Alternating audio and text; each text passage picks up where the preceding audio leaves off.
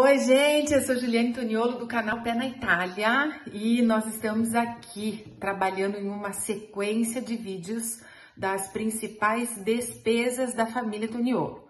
No vídeo anterior, nós falamos da despesa de gás e hoje a gente vai estar tá tratando da luz, que assim como em qualquer lugar do mundo, tem as suas particularidades e o maior desafio nosso como imigrante é chegar aqui e tentar descobrir todas as manhas e como que funciona esse novo universo ao qual a gente corajosamente se jogou. Então, me apoia. Não esquece de comentar nesse vídeo, curtir, mandar para pessoas que estão é, vivendo essa mesma situação que vocês, que é morar fora do país, na Itália, enfim. E isso ajuda a informação a chegar a todas as pessoas que necessitam e que gostam desse tipo de conteúdo. Bom, então eu trouxe para vocês aqui algumas regrinhas, tá?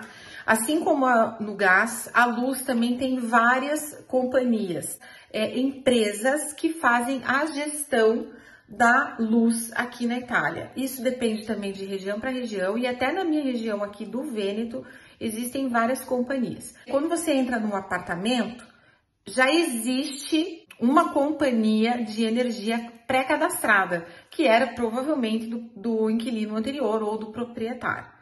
Então, vale a pena você pegar aquilo e avaliar, porque já está com o contador de energia é, instalado, já tá é, a passagem do nome de um para o outro é muito mais fácil, mas ainda assim vale a pena você pesquisar com as outras companhias elétricas para ver a equivalência do valor, né, do quilowatt hora, enfim. É sempre bom comparar esses preços. No nosso caso, a, a nossa companhia aqui é a Servizio Elétrico Nazionale.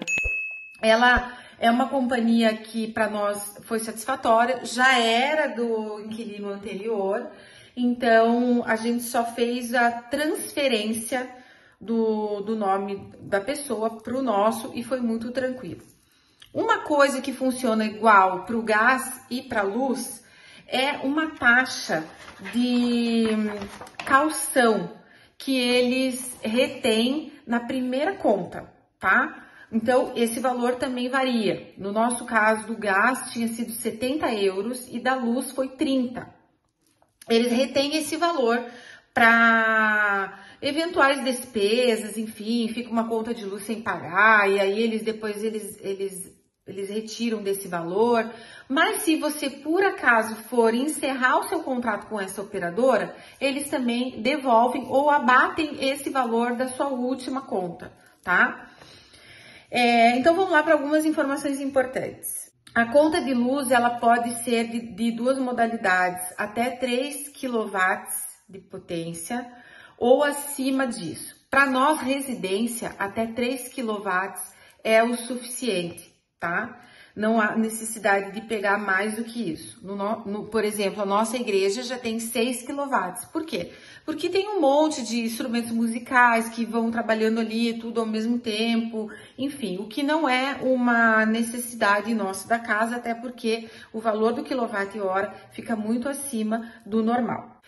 Outra coisa a ser considerada aqui na Itália, quando você decide o teu quilowatt, a quantidade de quilowatt que você vai ter em casa, é que a gente não consegue ligar vários eletrodomésticos ao mesmo tempo. A luz sempre cai porque isso é um sinal que vem que você ultrapassou a tua cota de energia e aí cai a chave, algum dos eletrodomésticos tem que permanecer desligado para que os outros funcionem normal e você não saia da cota já pré-estabelecida. Então isso é muito engraçado, é muito, já foi motivo de muita risada por aqui, porque é meio, né, estranho, mas enfim, existe é, diferença de valor cobrado do quilowatt-hora dependendo do horário que você usa o teu eletrodoméstico. Na minha conta aqui, fica barato das 19 horas da noite até as 7 horas da manhã. É um valor. das 7 e 1 até as 18 e 59 é outro valor. Ou seja, você pode, eu, por exemplo, lavo roupa à noite durante o inverno, porque não tem sol para secar, então eu utilizo dessa tarifa com desconto. No verão, não tem muito como. Eu acabo lavando de dia para aproveitar o sol e tal, enfim. Cada um faz a gestão como quiser. Mas é importante saber que, por exemplo, eu secar a roupa, eu só seco à noite para aproveitar justamente esse valor aí do desconto. Um outro fator importante é que as televisões elas já são automaticamente ligadas com a rede de televisão é, fechada, tá? E essa, o valor de, dessa conta vem cobrado na conta de luz. Ele se chama Canone di Abbonamento alla Televisione per Uso Privato.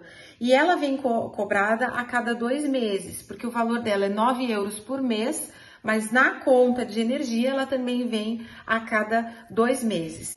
Um outro fator que eu quero comentar é o bônus sociale existe um desconto na conta, tanto do gás, quanto da luz, quanto da água, para famílias que não têm, às vezes, um, ainda um, um, um ou um crédito suficiente aqui na Itália.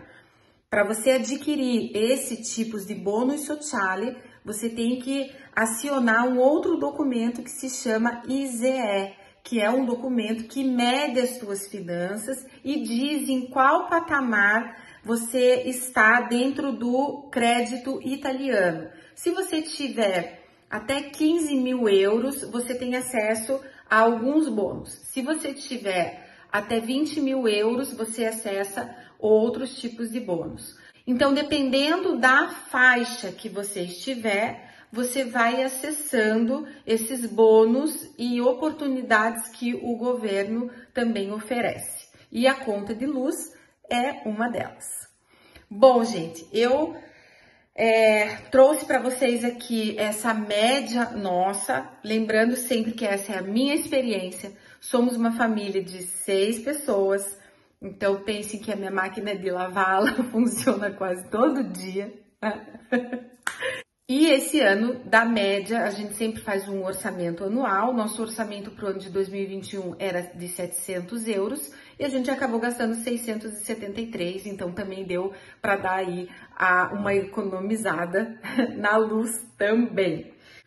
Bom, eu quero deixar aqui mais uma dica importante. Normalmente as companhias, elas não têm os aplicativos no telefone. Então, você precisa ligar e passar a, a numeração tanto da conta de gás quanto da conta de luz para ter o número correto, porque se isso não acontece, eles fazem as leituras de acordo com a média.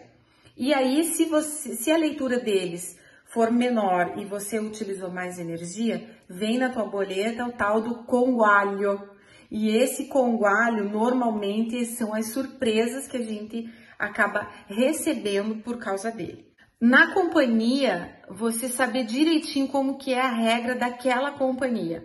E aí você consegue estabelecer o que, que vai ficar mais viável e a forma como você vai conduzir as informações. Então, nesse ano de 2021, a nossa família gastou 673,77 euros no ano todo, de janeiro a dezembro.